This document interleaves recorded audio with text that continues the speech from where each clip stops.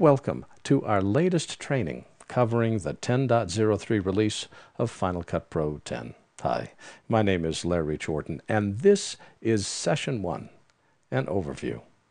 There are dozens of new features in this release. We've got almost a dozen new movies containing more than an hour of new training to help you make the most of this new version. Our training is designed to explain not just how to do something, but why you should do it as well how to use key new features to become productive immediately, explain potential problems and provide workarounds, provide insight gained from conversations with Apple about this new release.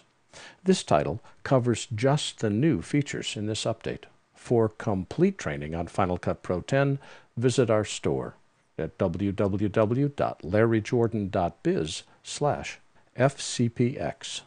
These tutorials are recorded using OS 10.7 Lion. However, most of these features should also work the same on OS 10.6.8.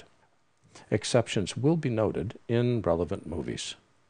In this training, you'll learn how to relink media, how to create and edit multicam clips, how to import and edit layered Photoshop files, how to use the revised color board, how to use advanced chroma key settings, how to create custom clip names using batch renaming, how to use Open in Timeline, which is not really a new feature, but we've never covered it before, how to use AV Connect, and discover some cool new features that Apple didn't announce.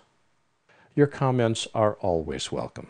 Feel free to visit my forum at larryjordan.biz slash forum. Subscribe to my free newsletter at larryjordan.biz slash newsletter. Follow me on Twitter at Larry Jordan FCP or on Facebook also at Larry Jordan FCP.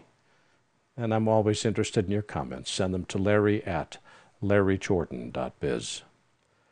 We offer weekly webinars covering Final Cut Pro 10. This allows you to stay up to date on the latest technology, and more importantly, these live webinars help you get your questions answered.